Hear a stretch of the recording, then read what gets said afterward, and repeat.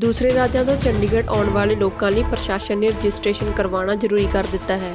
ਪਰ ਜੇ ਕੋਈ ਵਿਅਕਤੀ ਰਜਿਸਟ੍ਰੇਸ਼ਨ ਤੋਂ ਬਿਨਾਂ ਚੰਡੀਗੜ੍ਹ ਪਹੁੰਚ ਜਾਂਦਾ ਹੈ ਤਾਂ ਉਸ ਮਾਲਕ ਦੀ ਜ਼ਿੰਮੇਵਾਰੀ ਹੋਵੇਗੀ ਜਿਸ ਦੇ ਘਰ ਜਾਂ ਗੈਸਟ ਹਾਊਸ ਜਾਂ ਹੋਟਲ 'ਚ ਉਹ ਮਹਿਮਾਨ ਰਹੇਗਾ। ਪ੍ਰਸ਼ਾਸਨ ਦੇ ਨਿਰਦੇਸ਼ਾਂ ਦੀ ਪਾਲਣਾ ਕਰਦਿਆਂ ਮੰਗਲਵਾਰ ਨੂੰ ਰਾਜ ਆਫਤ ਪ੍ਰਬੰਧਨ ਅਥਾਰਟੀ ਦੇ ਚੇਅਰਪਰਸਨ ਕਮ ਸਲਾਹਕਾਰ ਮਨੋਜ ਪਰੀਦਾ ਦਾ ਰਾਜ ਕਾਰਜਕਾਰੀ ਕਮੇਟੀ ਨੇ ਸੈਲਾਨੀਆਂ ਲਈ ਲੋੜੀਂਦੀ ਕੁਆਰੰਟਾਈਨ ਸੰਬੰਧੀ ਹਦਾਇਤਾਂ ਜਾਰੀ ਕੀਤੀਆਂ। ਇਸ ਵਿੱਚ ਕਿਹਾ ਗਿਆ ਹੈ ਕਿ ਜੇ ਲੋਕ ਹਦਾਇਤਾਂ ਦੀ ਪਾਲਣਾ ਨਹੀਂ ਕਰਦੇ ਤਾਂ ਆਪਦਾ ਪ੍ਰਬੰਧਨ ਐਕਟ 2005 ਦੀ ਧਾਰਾ 51 ਤਹਿਤ ਜੁਰਮਾਨਾ ਅਤੇ ਕੈਦ ਵੀ ਕੀਤੀ ਜਾ ਸਕਦੀ ਹੈ। ਐਕਟ ਅਨੁਸਾਰ 1 ਸਾਲ ਦੀ ਕੈਦ ਵੀ ਹੋ ਸਕਦੀ ਹੈ। ਕੁਆਰੰਟਾਈਨ ਕੀਤੇ ਲੋਕਾਂ 'ਚ ਅਚਨਚੇਤ ਚੈਕਿੰਗ ਵੀ ਕੀਤੀ ਜਾਏਗੀ।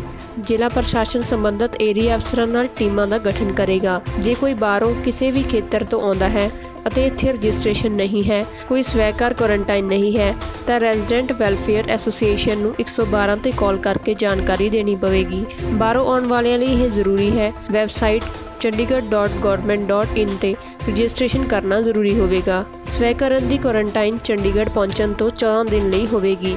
ਆਰੋਗਿਆ ਸੇਤੂ ਮੋਬਾਈਲ ਐਪ ਨੂੰ ਡਾਊਨਲੋਡ ਕਰਨਾ ਜ਼ਰੂਰੀ ਹੈ। 72 ਘੰਟਿਆਂ ਵਿੱਚ ਵਾਪਸ ਜਾਣ ਵਾਲਿਆਂ ਲਈ ਕੁਆਰੰਟਾਈਨ ਜ਼ਰੂਰੀ ਨਹੀਂ ਹੈ। ਜੇਕਰ ਕਿਸੇ ਦੁਆਰਾ ਇਹ ਨਾ ਕੀਤਾ ਗਿਆ ਤਾਂ ਉਸ ਵਿਰੁੱਧ ਕਾਰਵਾਈ ਕੀਤੀ ਜਾਵੇਗੀ।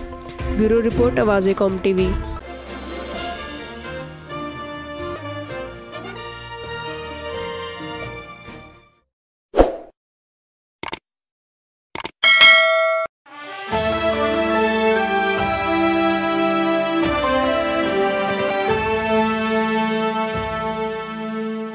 Sardar Harmanvir Singh Gill SSP Moga ਦੇ ਦਿਸ਼ਾ ਨਿਰਦੇਸ਼ਾਂ ਦੀ ਪਾਲਣਾ ਕਰਦੇ ਹੋਏ ਮੋਗਾ ਪੁਲਿਸ ਵੱਲੋਂ ਕਰੋਨਾ ਮਹਾਮਾਰੀ ਖਿਲਾਫ ਛੇੜੀ ਜੰਗ ਵਿੱਚ ਆਪਣਾ ਫਰਜ਼ ਤਨਦੇਹੀ ਨਾਲ ਨਿਭਾਇਆ ਜਾ ਰਿਹਾ ਹੈ, ਤਾਂ ਜੋ ਮੋਗਾ ਵਾਸੀਆਂ ਨੂੰ ਕਿਸੇ ਵੀ ਸਮੇਂ ਕਿਸੇ ਪ੍ਰਕਾਰ ਦੀ ਦਿੱਕਤ ਦਾ ਸਾਹਮਣਾ ਨਾ ਕਰਨਾ ਪਵੇ। ਇਸ ਲਈ ਆਪ ਸਭ ਦੀ ਸਿਹਤ ਤੰਦਰੁਸਤੀ ਨੂੰ ਧਿਆਨ ਵਿੱਚ ਰੱਖਦਿਆਂ ਮਿਤੀ 22/6/2020 ਸਹਾਇਕ ਥਾਣੇਦਾਰ Kewal Singh incharge traffic, education cell ਅਤੇ ਸਹਾਇਕ ਥਾਣੇਦਾਰ ਰਾਜਵਿੰਦਰ ਸਿੰਘ ਨੇ ਸਰਦਾਰ ਟਾਟਾ 407 ਕੈਂਟਰ ਯੂਨੀਅਨ ਮੋਗਾ ਵਿਖੇ ਹਾਜ਼ਰ ਡਰਾਈਵਰ ਅਤੇ ਕੰਡਕਟਰਾਂ ਅਤੇ ਮੈਂਬਰਾਂ ਨੂੰ ਕੋਵਿਡ-19 COVA app social distancing, mask ਅਤੇ ਸੈਨੀਟਾਈਜ਼ਰ ਦੀ ਵਰਤੋਂ ਬਾਰੇ ਜਾਗਰੂਕ ਕੀਤਾ ਅਤੇ ਮਾਸਕ ਸੈਨੀਟਾਈਜ਼ਰ ਵੀ ਵੰਡੇ।